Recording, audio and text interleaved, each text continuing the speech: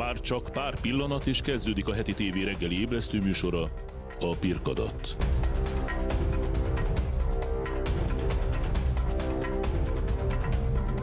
Élőben a stúdióból jelentkezik Brajer Péter. A Pirkadat mai vendége Deák Ádám előtt természetesen Pál Éva az iszom képviseletébe, és most Ádám is csatlakozott hozzád? Jó reggelt kívánok! Szeretet, szeretettel köszöntöm a, a nézőket, és téged is külön. A helyzet az, hogy itt most a szolidaritás mozgalom képviselője, Csepeli elnökeként vagyok. Igen. Üdvözlöm a nézőket, Brajer Péter vagyok, és ez a Pirkadot, a heti televízió reggeli politikai magazin műsor. Most fölnövök a riportalanyaimhoz. Igen, én se legyek törpeszerű. És akkor nézzük. 5784 Tisré havának 25. napján vagyunk. Az izraeli háború harmadik hajnalán. 2023. október 10-e van és kedd. 111 évvel ezelőtt született Radó György, magyar író, műfordító, irodalomtörténész. A nap folyamán rá is emlékezni fogunk. Nézzük, mit üzen nekünk a Nemzeti Bank.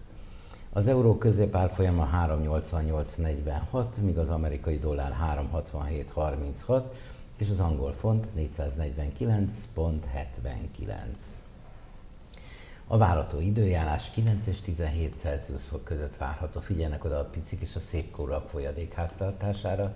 Egy esernyőt tegyenek be a ridikülükbe vagy az aktatáskába, és olyan cipőt adjanak, főleg a picikre és a szépkorúakra, aminek nem lesz ortopédia a vége, tehát nem csúszik. Most nyissák ki az ablakot, hagyd tudjon be a friss levegő, akár pácsem eső is, és hallják beszélgetésünket indulnak ugye a jelenlévők a helyhatósági választáson, mint civil mozgalom, mint mozgalom, vagy mint mi?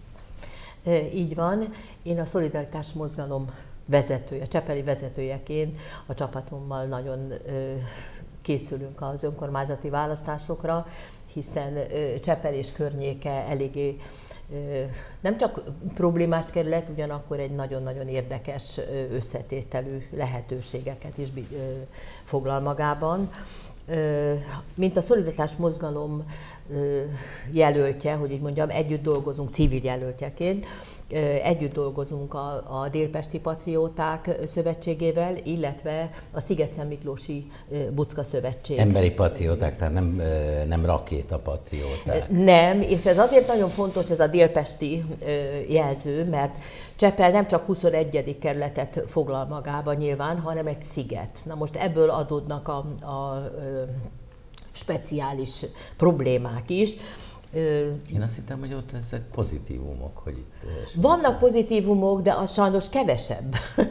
Na most a helyzet az, hogy Csepelen bár történtek fejlesztések, de egy, nagyon, egy na, nagy egy része látványfejlesztés. Volt egy idő, amikor nagyon szépen fejlődtek. Igen, volt egy idő, azért mondom, hogy vannak, és most is vannak ilyen úgynevezett látványfejlesztés részei a dolognak, de Csepel jövőjéért azért eléggé aggódunk. Látvány, akkor lassítsunk egy kicsit. A Igen. látványfejlesztések, amik feltételezhetően ezekben a hónapokban lassítani fognak, hisz mhm. nincs pénz. Így van. Mennyire a lakosságot szolgálják, avagy csak inkább látványfejlesztések? Hát mondanám azt, hogy egy része, mert a, a játszótereknek a, a felépít, vagy az építése, illetve a lehetőségei mondjuk a gyerekeknek a, a lakosságot szolgálják, de az, hogy 10 órakor nyitják ki, és délután 5 órakor bezárják, az mondjuk nem annyira a lakosság érdekét szolgálja. Ez mit jelent? Körül van kerítés bezárják? Igen, igen, igen. Volt ilyen, nem is olyan régen több ilyen panasz érkezett, hogy a gyerek sírva 4 órakor befejezte az iskolát, elment játszani, és 5 órakor kirúgták. Igen. Na és most... mit válaszol erre a helyhatóság? Hát egyelőre a helyhatóság azt mondja, hogy, hogy meg fogják ezt majd vizsgálni. Na most, hogy ez miért történik így, egyelőre ennyi volt a válasz. De én azt hiszem, hogy ennél... igen, igen. Na most a helyzet az, hogy én ennél azért komolyabb, nagyobb volumenű dolgokról is szeretnék beszélni ebben a történetben, mert Csepel, az egész Csepel szigeten 179 ezer ember van.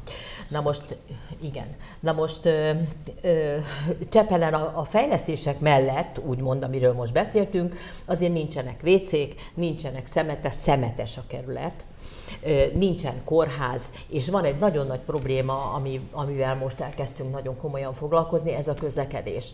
Ebbe benne van természetesen a hév is, erről majd még esetleg visszatérek, de most egy nagyon komoly probléma adódott azzal, hogy a Tesco logisztikai központját Sziget Miklós határába telepítik, és mellé pedig az EMAG szintén országos logisztikai központját. Na most azt tudjuk ugye, hogy Csepel, mint sziget, kettő darab út vezet ki. Tehát magyarul be. ezek raktározási logisztikai központ. Igen, logisztikai központ. Ez azt jelenti, hogy körülbelül napi, hangsúlyozom, napi több mint 2000 kamion, ha ez a kettő beruházás elindul. Napi több mint 2000 kamion olyan ö, utakra ráengedve, ami már a mostani forgalmat nem bírja. Hát és amit Éva megfogalmazott, ugye arra rácsatlakozik egész Budapest egyik legfőbb problémája, talán mondhatjuk, hogy a közlekedés.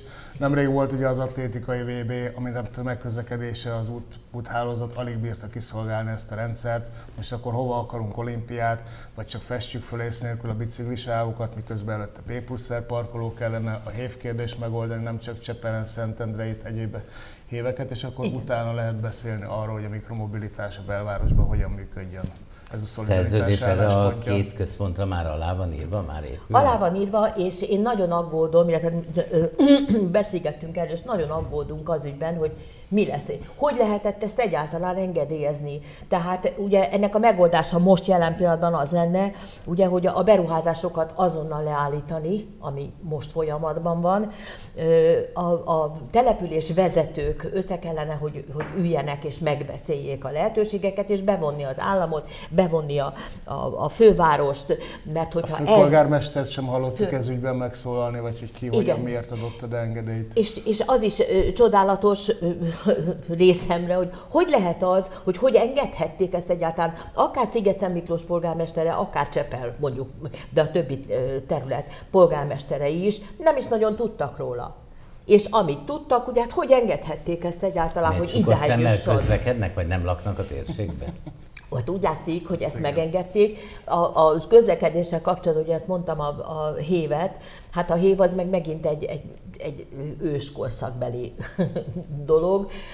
Naponta több tízezer ember utazik vele, és nagyon megalázó például azt készítettünk egy ilyen videót is a Bucka Szövetséggel, hogy sem a, a, a kerekes székesek például egyáltalán nem tudnak felszállni ilyen magas hévekre, akkor a, a babakocsisoknak Babakocsi. nagyon problémák, nagyon problémás a, a Mit ígér a MÁV? Én gondolom, hogy a hévet a MÁV kezeli.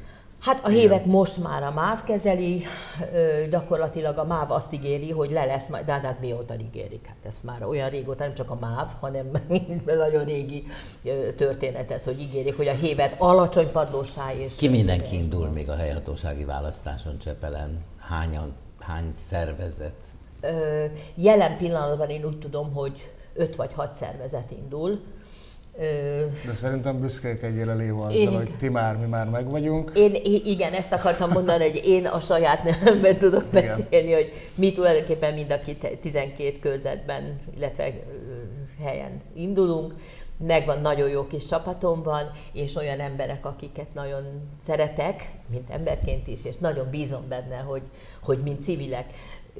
Nézze, az igazság, hogy, hogy Csepelen, tulajdon Csepelen is, hogy ki a pártokkal a, a, az önkormányzatokból. Tehát ahogy rákérdezett a, arra, hogy mi van most Csepelen, hát ott, ott is van egy, egy olyan probléma, egy olyan ellentét, amivel mi nem akarunk, én nem akarok ezzel foglalkozni, én az emberekkel szeretnék foglalkozni, az ő személyes problémáikkal, a mindennapi problémáikkal, amiben lehet segíteni és változtatni. Erről most néhány szösszenet volt. Igen te friss vagy a területen, mit tudsz te hozzáadni mindenhez?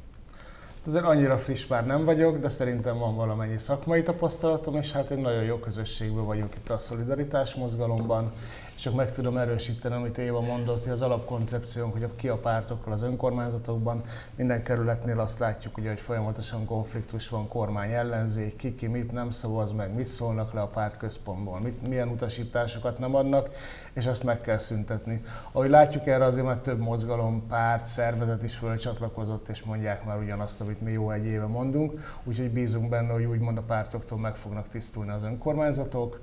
A szolidaritás mozgalom jelenleg 8-10 kerületben van nagyjából Budapesten, de tovább építkezünk, és be fogunk számolni róla. Értem, konkrét terveitek, biztos van valami, amit ígértek a választóknak amit utána majd számon is fognak kérni. Na mi az a bombasztikus ígéret? Játszóterek, kutyafuttatok? Nem fog négy órakor bezárni a játszótér? Nem, hát én, én például az egyik nagyon fontos, amit mondtam, hogy nincsenek például WC-k. Nincsenek nyilvános WC-k szemetesek nincsenek, ettől a kerület olyan elhanyagoltá válik, az időseknek gyakorlatilag nem... Én több alkalommal jártam kórház. nagyköveti delegációkkal Csepelen, akkor még Szilárd volt a polgármester, Igen. És, és múzeumokat láttunk, és épült és szépült, ennyire tropára ment volna hát, az idő szeme, Szemetes az igazság, hogy szemetes, és, és nekem, ami nagyon nagy szívfájdalma mondom, és nagyon sok Csepelének szívfájdalma, annak a a bizonyos 179 ezer embernek, hogy nem jár egy kórház. Arról nem beszélve, hogyha ez a, ez a közlekedési anomália bekövetkezik, akkor már csak úszva lehet el kimenni vagy bejönni Csepperről. És Milyen a rendelőintézet? A rendelőintézetet mióta felújították, azóta hát működik, de mindig ki van írva, hogy mi az, ami nem működik. és sajnos sokszor hosszabb a, a lista, hogy melyik orvos nem milyen Csepelnek a korfája, kérdezem Ádámot. Én inkább még egy konkrét ígéretet szeretnék mondani. Ez a zebra minimum, ugye az egész országosan, illetve Budapest területén is több száz, hanem több ezer baleset történik évente a zebrákon. Ezeket meg kell újítani, fényjelzéssel kell ellátni, már mint nem közlekedési lámpával, hanem hogy észrevehetőek legyenek a lelépő gyalogosok.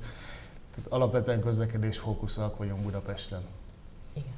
Hát nagyon köszönöm nektek, hogy eljöttetek hozzánk. És ha még egy mondatot megenged, vegyék meg a mai meglepetés magazint, hiszen Pál Éváról lesz benne szó, és vele egy nagy interjú készül. Ez Köszönöm. nem megengedett reklám helye volt, legközelebb tessék előre jelezni, és akkor Igen. kiírjuk, hogy termék megjelenítés, de ez esetben Pál Éva Köszönöm. már úgyis termék, úgyhogy semmi baj. Sok sikert, halljunk rólatok még, hisz lehetőséget adunk mindenkinek, aki indul és hajrá, megnézzük, hogy sikerül-e a civileknek. Köszönjük, Köszönjük. szépen. Kedves nézőim, az elmúlt szűk negyed órában két csepeli civilt mutattunk be, akik a helyhatósági választásokon az iszom mozgalom színeibe indulnak.